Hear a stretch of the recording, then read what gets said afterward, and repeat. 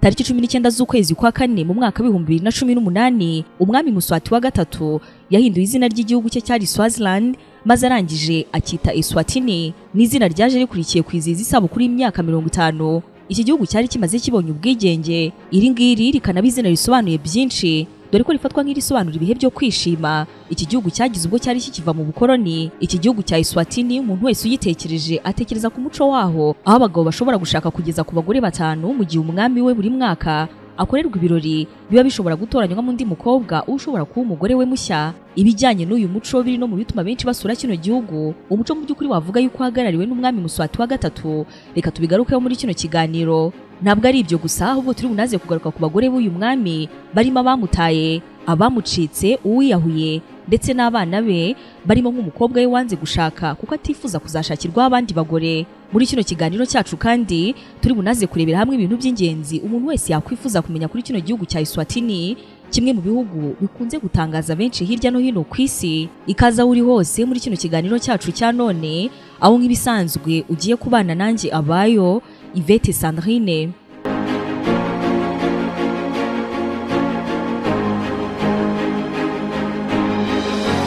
Igihugu cya Eswatini kirimo ibidakora ku nyanja aho giherereye mu majyepfo y'umugabane wa Afurika iki ngiki ni igihugu wavuga ko kiri hagati ya Mozambique na Afurika y'Epfo. Dore ko mu majyaruguru ashyira uburasirazuba bwa kino gihugu ariho usanga Mozambique hanyuma mu majyaruguru mu burengerazuba. Mu majyepfo hamwe n'amajyepfo ashyira uburasirazuba hose iki gihugu gikikizwa n'igihugu cya Afurika y'Epfo. Ubwoko bwiganje aha ngaha ni abaswazi iri ngiri rikanaba izina ry'ururimi rwabo ariko kandi nanone icyongereza ni ururimi rwa kabiri ruvugwa muri Eswatini. Abaturage ba kino gihugu ni miliyoni imwe n'ibihumbi magana abiri. Ndetse Eswatini iza mu bihugu bito cyane ku isi. Ni igihugu kikiri mu nzira y'amajyambere. Aho ibintu by'ibanze mu bucuruzi babikorana na Afurika y'Epfo abaturanyi babo ba hafi. Ifaranga rya hano ryitwa rilengani. Igihugu cya Eswatini kandi kibarizwa mu miryango itandukanye irimo nka African Development Community, the African Union, the Commonwealth of Nations ndetse utanibagiwe umuryango w'abibumbye. Umwami Muswati wa gatatu ategeka kino gihugu gifite miliyoni imwe n'ibihumbi magana abiri by'abaturage akoresheje amategeko y'umwami. Amashyaka ya politiki arabujijwe kandi abayobozi batorwa nabo ku rwego rw'abajyanama gusa. Eswatini rero nk'uko twabibonye ni kimwe mu bihugu bibarizwa mu miryango myinshi itandukanye gusa kikanaba igihugu cyonyine muri Afurika cyagumanye umubano ukomeye na Taiwan aho kuba leta y'Ubushinwa.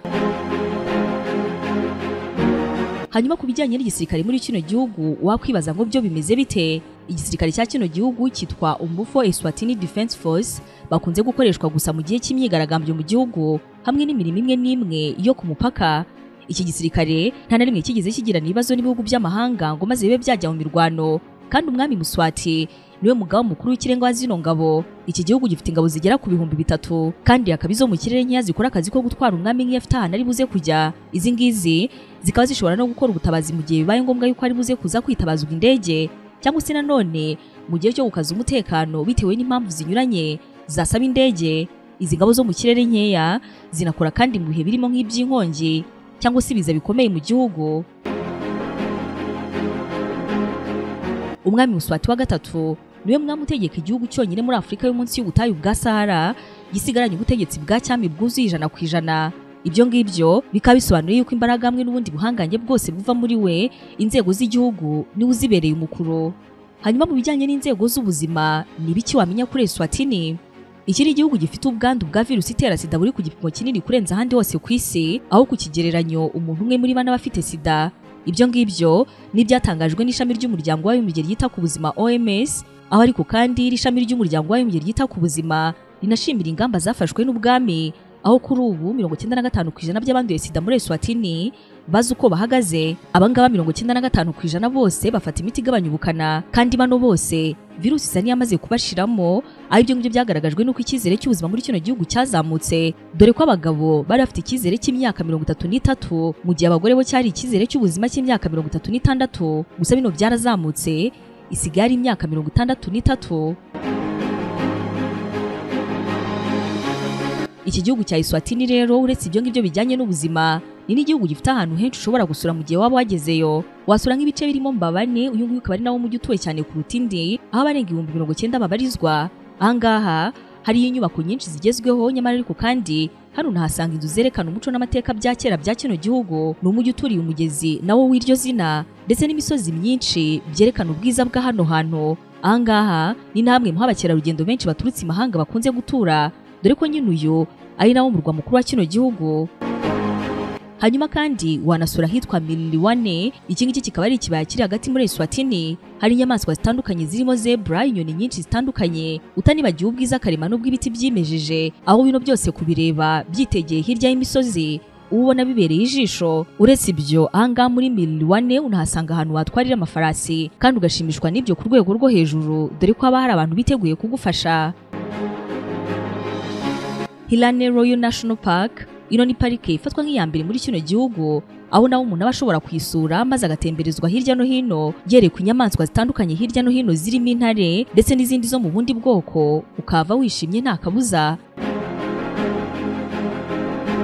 Muri Eswatini muri rusange ni igihugu gifite byinshi ku bijyanye n'amateka ya kera ajyanye n'abami bagiye bategeka kino gihugu ndetse n'umuco ukunze gutangaza benshi wo gushaka abagore benshi. Aho ibyo ari bimwe mu bintu byihariye udashobora gupfa gusanga ahandi ku isi. Hanyuma nk'uko twabibonye yuko umwami ari we muntu ukomeye muri kino gihugu kandi akanafatwa nk'uhagarariye umuco wacyo.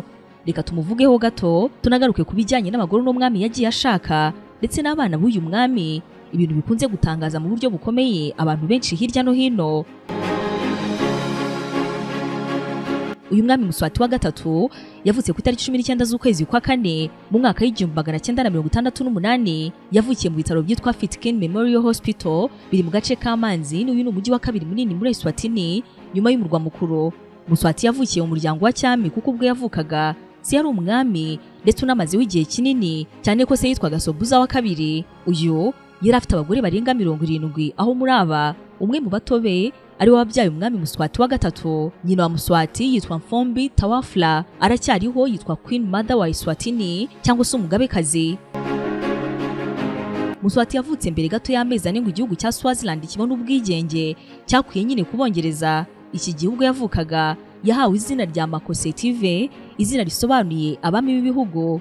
Akaba yararihawe nk'umwana wavutse igihe igihugu cya Swaziland cyabonaga ubwigenge. Uyu muryango Muswati yavukiyemo kandi hanavukiyemo abandi bantu bakomeye barimo nka Mantfombi uyu nguyu akaba yarabaye umwamikazi w'abazulu. Muri Afurika y'Epfo Muswati ubwo yari akiri umwana yari akunzwe cyane mu muryango. Yaje koherezwa kwiga mu ishuri ribanza rya Masundwini ishuri atamazeho igihe kinini kuko yahise ajyanwa mu ishuri rya cyami ryitwa Rosita Palace School maze hano aza kurangiza amasomo ye mu mwaka w'igihumbi magana cyenda na mirongo inani na kabiri. Kino gihugu yakoraga ikizamini cya leta yaje mu cyiciro cya mbere cy'abatsinze neza aho amasomo yiganjemo imibare n'icyongereza yari ari imbere. Gusa atakiri umwana yakundaga igisirikare kubera rero gukunda igisirikare. Byaje gutuma ajyanwa mu ishuri rya gisirikare ry'ubwami bwa Swaziland aho rino ari Umbufuto Swaziland Defense Force cyangwa se nanone USDF umwaka yarangijemo amashuri abanza uyu nguyu ukanaba umwaka yagiriye mu ishuri ry'ingabo ni nawo umwaka se umubyara umwami Sobuza wa kabiri yatanze byari ku itariki makumyabiri n'imwe z'ukwezi kwa munani mu mwaka w'igihumbi magana cyenda na mirongo inani na kabiri. Ahangaha Muswati wa gatatu yari afite imyaka cumi n'ine gusa y'amavuko. Ubwo ibyo ngibyo byari bimaze kuba se amaze gutanga inteko ishinzwe kwimika umwami muri kino gihugu cyari Swaziland yahise iterana maze yemeza yuko uyu witwaga Makosetive ari uzaba umwami. Gusa ko kwimikwa ibyo ngibyo bizafite imyaka cumi n'umunani gusa y'amavuko. Ahangaha rero kuko yari afite imyaka cumi n'ine gusa y'amavuko byari bisobanuye yuko abura imyaka ine. Byari ibintu bisanzwe yuko umwana ukiri muto bamuyoborera igihugu maze yamara kugera igihe cy'ubukure agatangira inshingano ze zo kuyobora. Nyuma yo kugirwa umwami wa Swaziland ariko utari neza mu nshingano imyaka ine yakurikiye. Ntabwo Muswati yabashije guhita ayobora. Kuko yahise yerekeza mu Bwongereza kwiga byari bivuze yuko agiye gusigara hayobora abandi batari we. Ahangaha rero ni nako byagenze kuko abasigaye bategeka barimo abari abagore b'umwami wari umaze gutanga. Uyu nguyu rero ni uwitwa Zeliwe Shongwe yari umwe mu bagore bakuru ba se wa Muswati ubwo uyu nguyu akaba mukase wa Muswati wa gatatu. Zeliwe Shongwe yayoboye Swaziland umwaka umwe kuva mu mwaka w'igihumbi magana cyenda na mirongo inani na kabiri kugeza mu mwaka w'igihumbi magana cyenda na mirongo inani na gatatu. Nyuma rero haje kujyaho Tufwala wayoboye imyaka itatu. Kuva mu mwaka w'igihumbi magana cyenda na mirongo inani na gatatu kugeza mu mwaka w'igihumbi magana cyenda na mirongo inani na gatandatu byari nyuma y'uko umwana wagarutse maze agakomereza aho bari bageze amaze kuhagera yarimitswe ahita anahabwa izina rya Ingwemanya Imaswati bisobanuye intare y'Abaswati. Ingwamanya Imaswati yafashe izina rya Muswati wa gatatu nk'izina rye ry'ubwami. Uyu ni umwe mu bakuru ba za leta n'ibihugu bafite amafaranga menshi ikinyamakuru Forbes magazine kimushyira mu bami batunze cyane ku isi dore ko muri bibiri n'icyenda byari bizwi yuko umutungo we warirwa muri miliyoni magana abiri. Afite imodoka ze amazu n'ibindi byatumye benshi bakunze kumurakarira kubera ubuzima bwe buhenze ngo nyamara mu gihugu harimo inzara. Ibyo ngibyo ni ibintu byatumye uno mwami aca ibintu byo gufotora imodoka zaho zaba zigiye hose nyuma y'uko yagiye anengwa bikomeye n'abantu batandukanye bamushinja gusesagura umutungo w'igihugu abaturage benda kwicwa n'inzara. Uyu mwami abamuzi bavuga yuko ari umuhanga cyane mu buzima busanzwe ariko kandi si umuhanga muri ibyo gusa ahubwo kandi ngo azi no kubyina imbyino gakondo z'iwabo. Izi mbyino zikanaba izishe sekuru bituma asagirwa umwami akiri uruhinja maze biza gutuma nawe ategeka igihugu kugeza amaze gukura. Amarushanwa yahuzaga abahanga cyane muri zino mbyino hari umuhanga w'abantu bakunze guhura maze bakaza kwishimisha babyina iki ngiki ngo kikaba kimwe mu bintu yishimira ndetse n'arimo kureba zino mbyino. Aba arimo araseka.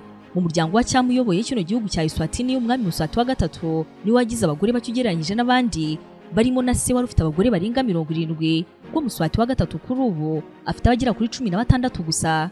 Ikindi hano leta ya Eswatini imugenera abagore bagera kuri babiri ari nabo be ba mbere. Hanyuma nyuma abandi bose akazagenda bihitiramo. Reka tuvuge gatoya ku bagore bamwe mu bazwi cyane b'uyu mwami n'ibintu bidasanzwe bagiye bakora. Abagore ba mbere b'uyu mwami twabikubwiye n'abatoranyirizwa aho abamutoranyiriza ari abo wagereranya n'abiru ni abantu baba bazi byinshi mu bijyanye n'amabanga y'ibwami hanyuma rero umugore we wa mbere yihitiyemo uyu nguyu ubwo ni we wa gatatu. Ni uwitwa Sibonelo Mongometulu. Uyu nguyu afite imyaka mirongo itanu n'itanu kuri ubu. Uyu ni n'umwe mu bagore b'uyu mwami bakunzwe cyane. Ndetse bamwe ntibanatinye guhibiswa yuko ari we akunda cyane kuruta abandi. Birumvikana ariko ibyo biba bitewe n'icyo abavuga bagenderaho. Muswati hamwe n'uyu mugore we wa mbere yihitiyemo akanaba uwe wa gatatu. Bafitanye abana babiri barimo umukobwa witwa Princess Dlamini. Uyu nguyu wanigeze kuba minisitiri w'itumanaho muri kino gihugu. Princess Dlamini yakunze kugarukwaho cyane nk'aho hari igihe yigeze kunenga ubwami bwa se ndetse n'abandi bose bagiye bamubanziriza. Ati ntegereje yuko umunsi umwe bizahinduka. Aho umugabo azajya ashaka umugore umwe nk'uko umugore nawe ashaka umugabo umwe benshi bemeza yuko kino gikomangomakazi kuri ubu ngubu gifite imyaka mirongo itatu n'irindwi ariko kandi atari yashaka ari kimwe mu byabimuteye. Hari andi makuru avuga yuko uno mukobwa yashakanye n'umwongereza ngo ndetse ubukwe bwabo bwagizwe ibanga. Kuko atari gushakana n'umugabo uzamushakira abandi bagore bo muri Eswatini ibyo? Ngo nubwo ari umuco w'iwabo bikanaba n'ibintu se yakunze gukora? Ngo gusa ntabwo kino gikomangomakazi kigeze kibikozwa ibyo binahuzwa n'uko benshi bavuga yuko kuba uno mwana yarize mu Bwongereza ndetse no muri Leta Zunze Ubumwe za Amerika atari kubasha kwiyumvisha uburyo umugabo azamushakira abandi bagore.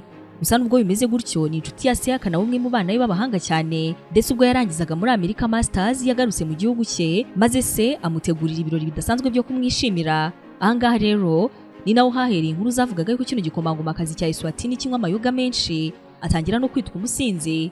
Kuva kera yakundaga kwerekana yuko akunda ibintu bihabanye n'umuco wabo birimo nko kurapa. Iki gikomangomakazi Dlamini ni umwe mu banakunzwe cyane muri kino gihugu akanaba umwe mu bana ba Muswati wa gatatu bazwi cyane. Undi mwana uyu Muswati wa gatatu yabyaranye n'uyu mugore wa gatatu ni uwitwa Lindani Dlamini uyu nawe akaba umwana uzwi cyane wanakunze guherekeza se mu ngendo zitandukanye hirya no hino. Abantu benshi bamukundira yuko nubwo ajya ajya mu mirimo ahagarariye igihugu ariko kandi adatinya no kwerekana ubuzima abayemo buhenze yaba imodoka akunze gutwara ndetse n'imodoka akunze gusohokeramo hirya no hino. Mu bandi bagore uyu mwami afite bazwi cyane n'uwari umuto kurusha abandi kugeza ejo bundi bihindutse. Uyu nguyu ni Siferere Mashwana uzwi nka Inkonsikati la Mashwama ku mazina ye wavuga y'akazi. Uyu yavutse mu mwaka w'igihumbi magana cyenda na mirongo cyenda n'umunani akaba ari umugore wa cumi na gatanu w'umwami Muswati wa gatatu. Ni umukobwa wigaga muri kaminuza yo muri Leta Zunze Ubumwe za Amerika ubwo se umubyara. Jaburire Mashwama yamukuraga mu ishuri ngo aze gushakana na Muswati wa gatatu. Bivuye mu birori byo kwiyerekana yaje gukora. Uyu mubyeyi we ni n'umwe mu bakomeye mu bagize ubwami bwa Muswati. Uyu mugore wa cumi na gatanu wa Muswati ni nawe baheruka kuzana mu Rwanda. Mu birori byo kurahira kwa Perezida Kagame uyu bashakanye muri bibiri na cumi n'icyenda. Babyarana umwana wabo wa mbere mu mwaka w'ibihumbi bibiri na makumyabiri na rimwe. Ni umugore Muswati yakunze kugendana nawe mu bihugu bitandukanye hirya no hino aho birumvikana. Uyu nawe byakunze kuvuga yuko Muswati amuharaye cyane ko bashakanye muri bibiri na cumi n'icyenda ndetse ingendo nyinshi kuva ubwo. Niyo bakunze kuzikorana. Ibinyamakuru hano byandika yuko Muswati akundira Lamashwama yuko amugira muto kandi ngo agatuma yiyumva nk'udakuze iyo bari kumwe. Benshi bavugaga yuko uyu mugore wa cumi na gatanu wa Muswati kuba ari bamwe mu bana ba Muswati bamuruta ubwe. Ibyo bikanaba ikimenyetso cy'imyaka myinshi Muswati wa gatatu amurusha ari kimwe mu bintu amukundira ngo cyane yuko iyo bari kumwe yumva nk'umuntu ukiri muto cyane. Uyu mugore wa cumi na gatanu wa Muswati anakunze kenshi kugaragara yishimye icyo benshi bamukundira kandi ibinyamakuru muri Eswatini byandika yuko ari umuntu uciye bugufi cyane. Mu bandi bagore ba bamenyekanye muri bibiri na cumi n'umunani umugore we witwa Senteni Masango. Uyu nguyu yitabye Imana. Nyuma amakuru yaje kwemeza yuko uyu mugore wa Muswati yiyahuye. Yari umugore wa munani w'uyu mwami aho yari asanzwe arwaye agahinda gakabije ndetse anavurwa. Yaje gufata imiti irengeje urugero maze arayinywa. Ahita apfa bamusanze mu nzu ye yapfuye. Uyu mugore Senteni yari yaratoranyijwe na Muswati wa gatatu mu mwaka w'igihumbi magana cyenda na mirongo cyenda n'icyenda ubwo yari afite imyaka cumi n'umunani gusa. Nyuma byaje kumenyekana yuko uno mugore yataye ishuri agakundira ndetse no gukora ibitemewe ku mugore w'umwami. Nyuma y'ibyo byose hari inkuru zahwihwishijwe yuko uno mukobwa atari akiri isugi ubwo yashakanaga na Muswati. Ibintu benshi bumvise maze bagatungurwa. Ibinyamakuru muri Eswatini kandi byanditse yuko ngo Muswati atamusuraga bihagije ariko kandi ngo uyu mwami ntibimubuze kumushyiriraho amategeko amukanira nkaho mbere yuko yiyahura umuvandimwe w'uyu mugore yapfuye maze Muswati akamubuza kujya kumushyingura. Ibyo byiyongereho yuko yari amaze imyaka itatu yose atamusura atanakandagira mu rugo rwe na rimwe ni byo benshi bahuje n'ibyavuzwe kuri uyu mukobwa yuko ngo yashakanye na Muswati atakiri isugi. Ibyo ngibyo kandi bikajyana no kwanga ishuri n'ibindi byinshi bitandukanye maze bikaza kurangira yiyahuye. Senteni Masango uyu nyine wabaye umugore w'umwami wa Muswati wa gatatu yasize abana babiri b'uyu mwami. Mu zindi nkuru zavuzwe ku bagore b'uyu mwami uno yitwaga Zena Malangu kino gihe yari afite imyaka cumi n'umunani gusa y'amavuko. Yigaga mu mashuri yisumbuye byari mu mwaka w'ibihumbi bibiri na kabiri. Ahangaha rero umubyeyi wa Zena yabuze umwana we kuko atatashye maze ahita ajya gutanga ikirego kuri polisi. Nyuma abanyeshuri baje kubwira polisi yuko hari abagabo babiri baje maze bagatwara uno mwana w'umukobwa. Polisi mu iperereza yaje kumenya yuko uno mwana ari mu gace kitwa Rudzizi ni Royal Village ko arimo gutegurirwa kuzaba umugore wa Muswati wa gatatu. Nyina yasabye yuko umwana we agaruka avuga yuko akiri muto rwose yuko ataba umugore w'umwami ndetse akaba yaranafite impanga. Ibyo bikaba ubundi ibintu bitemewe. Ntabwo Muswati wa gatatu ajya ashaka impanga nyamara nubwo nyina yatanze ibirego hirya no hino akanagerageza uko ashoboye ngo umwana we avanwaho ntabwo byabaye kuko haje gukorwa imihango yose maze birangira yindutse umugore w'umwami yitwa Inkonsikatila Malungu. Bamaze kubyarana kabiri gusa inkuru yo kumushimuta akaba umugore wirazwi cyane ko banamuhaye akabyiniriro k'umugore mujurano w'umwami ku bindi byinshi bijyanye n'ino nkuru y'uko uno mwami yashimuse uno mugore we ndetse akanamugira umwe mu bagore be wayisoma mu cyiswe La Malungu Controversy aho byinshi mu bijyanye n'uko byakurikiranye wabasha kubimenya. Ukamenya uburyo mama yegejeje kino kirego kure harimo nko mu miryango mpuzamahanga irenganura abagore ariko kandi n'ubundi bikarangira. Umwami Muswati wa gatatu amugize umugore we ndetse baranabyaranye. Mu bandi bagore uyu mwami afite bazwi cyane ni uwitwa Inkonsikatila Magongo ni umugore w'uno mwami ufite inkomoko muri Portugal gusa bamwe mu muryango we nanone bafite inkomoko muri Eswatini. Uyu nguyu yavuzwe cyane kuko ari umwe mu bagore batajya bagaragara mu bitangazamakuru dore ko hari n'ibirori bijya bihuza abagore b'uyu mwami ariko kandi uyu ntabigaragaremo. Akunze kutagaragara mu birori ariko kandi kuno kubura ko ahubwo ibyo ngibyo bigatuma agarukaho cyane. Benshi bakunze kumugarukaho kuko n'umwe mu bafite abana ba Muswati bazwi cyane. Iki ngiki kikaba ari igikomangoma Mawasho umusore abakobwa benshi bakunda muri Eswatini uyu musore ni we muntu abantu basigaye bakesha kubona amafoto ya mama utajya ugaragara mu ruhame kuko asigaye amupostinga kenshi. Ku mbuga nkoranyambaga akoresha uyu mwana akunze gupostinga nyina akamwita umubyeyi udasanzwe kandi w'igikundiro.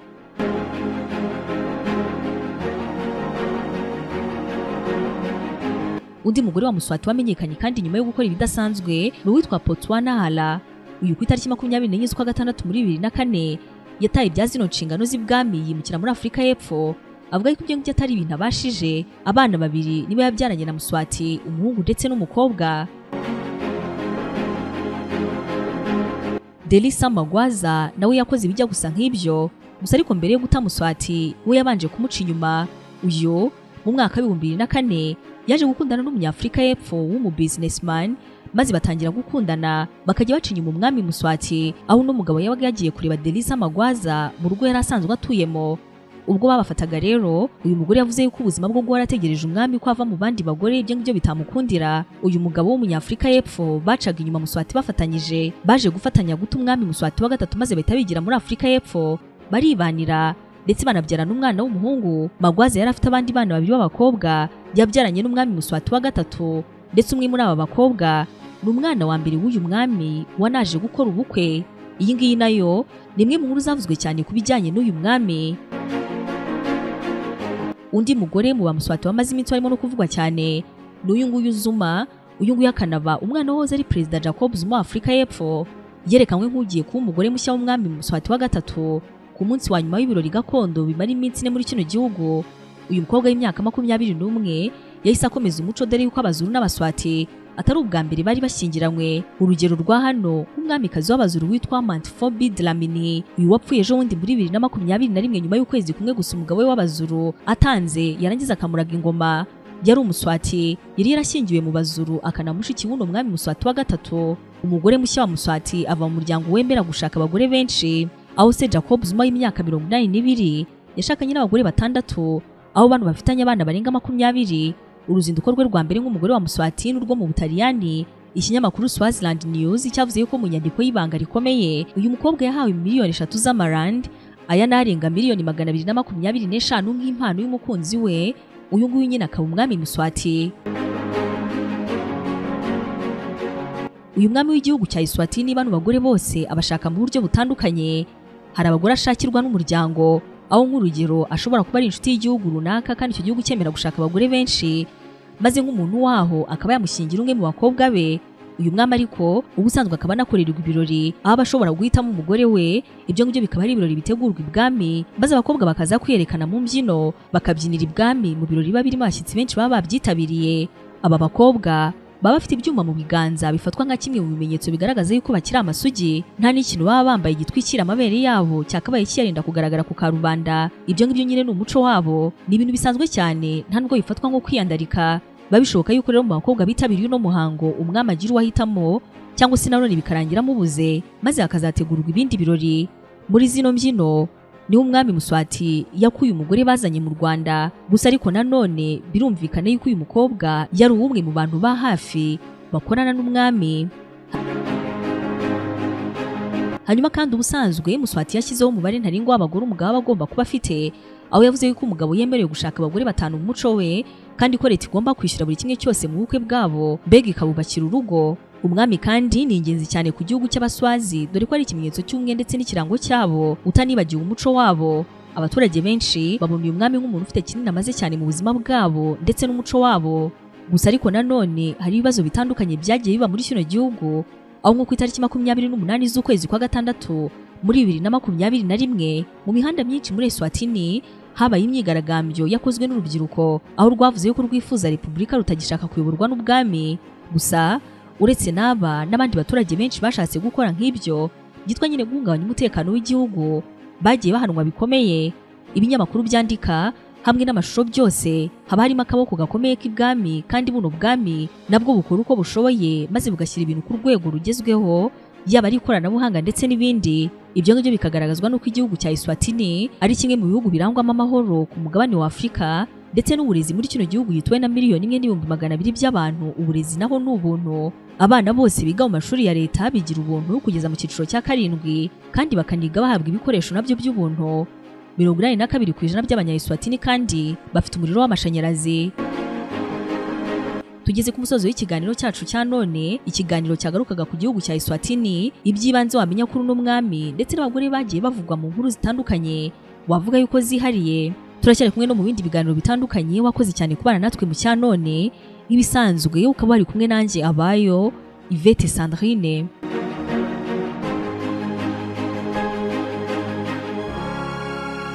Inzu yawe kampani yawe ndetse n'aho ukorera aho hose hakeneye gusa neza byihariye. La Gloire Trading Limited ni abantu bagufasha kugera kuri izi nzozi. Ahanje kukubwira si ukuhamamaza ahubwo ni ukuharanga. Ngwino tuguhe ya makaro yose meza cyane agezweho ayo uzashyira mu ruganiriro mu gikoni n'ahandi hose. PV span ndetse n'amasika n'indi miti yose irinda ikanarwanya imidite. Iyi ngiyi turayiguha maze tukanagufasha byose kubishyira mu nzu yawe.